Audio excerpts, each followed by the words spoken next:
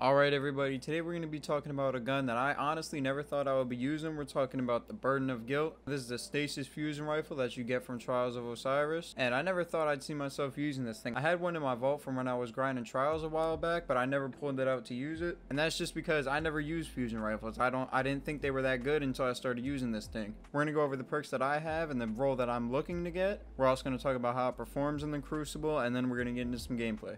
We're going to start off with the perks that I personally want for my god roll whenever I get that. And that is small bore, projection fuse, perpetual motion, high impact reserves with a range masterwork. Now small bore I think is just the overall best barrel here because it gives you that range bump and it also gives you a little stability to help constrain the bolts. And projection fuse just gives you that range bump which I feel like this thing needs. And then perpetual motion gives you more handling and stability while you're in motion. And that's always going to help with swap speed and once again the uh, constraint to the bolts. And high impact reserve is just a S tier perk on fusion. You start with two ammo, so each one of your shots is going to deal more damage. And then range masterwork over something like stability, because I don't really think this thing needs it if you have small bore on there. And if you get it adept, you can throw an adept stability mod on here, and you'd be pretty much set. Now, with the roll that I just described, your stats would be as follows. It would be 70 impact, 68 range, which would give it 16.59 meters of range, 46 stability, 32 handling, and 31 reload speed. The part where this fusion really just goes over the top is the 52 aim assist. Now, this really comes into handy with your bolts. I don't know, it just makes this gun feel a lot more crisp, and it feels like you can range people with this thing, even though it doesn't have the most range on it.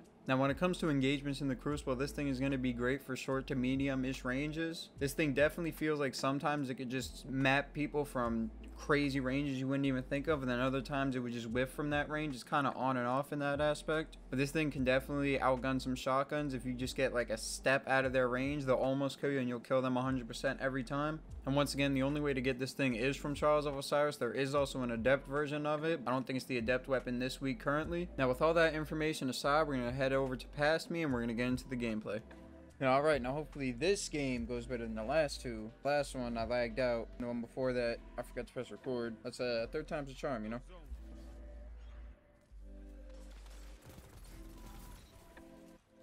I hit him with the auto off the start. Anybody else up there? There is. That's two of them.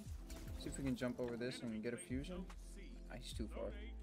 He's running to somewhere.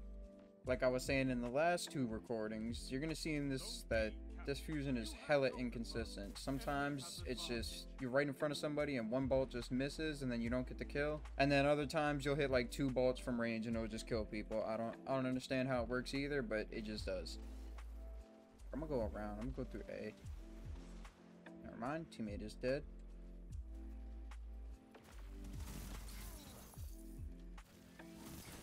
Nice little two piece right there. See, there we go. That right there is a good example of the one time when it actually works at close range.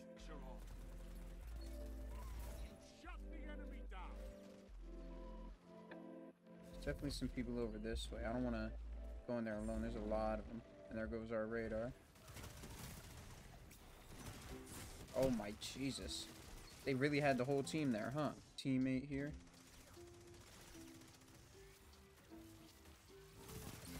See, like, that's one of the times where I don't know how the hell I just killed him, but it worked, so I'm not going to complain. And there's that's a perfect example. And there's one of the times where I'm up close and I don't know how it didn't kill him. And another not so great thing, I guess, about this gun is that you have to play trials for it. So if you do not like trials that much and you're just looking for a fun fusion, you're out of luck with this one.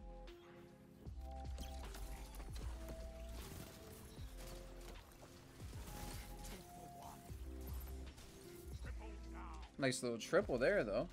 So far this game, though, this thing has been pretty damn consistent. Compared to the other two games, this thing was whiffing left and right, so I'm glad, glad I'm not using those. That's not what you like to see. Somehow that didn't hit me. Thank you, teammate.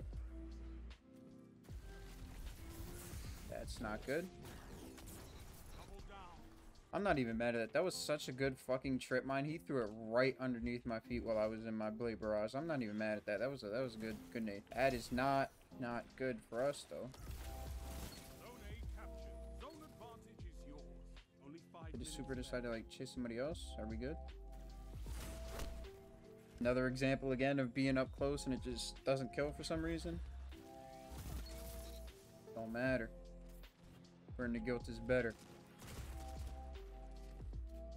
See if we can hold down B. That's not good. I'm just kind of guessing now.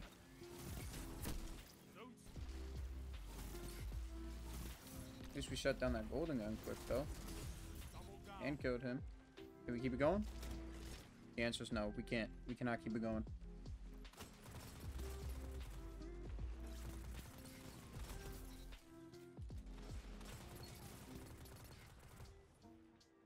Pushing in. I guess we're not pushing in. Alright, I guess we're not going that way either. Fuck it, we are pushing in.